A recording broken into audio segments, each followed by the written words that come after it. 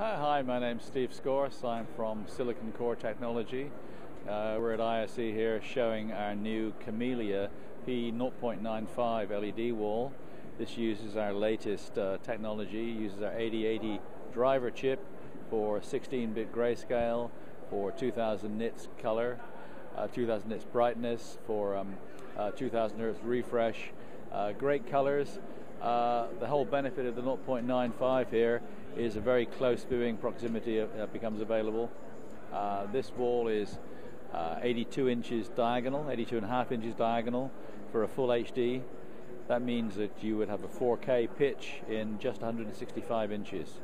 Uh, we can have this touchscreen enabled. We can uh, integrate this in any shape, any size. It's a completely modular product. This is made up of a nine cabinets, three by three sections in this particular size.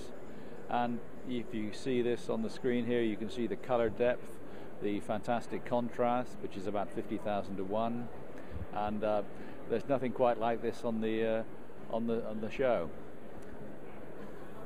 What is your website? And, and the website here is uh, www.silicon-core.com.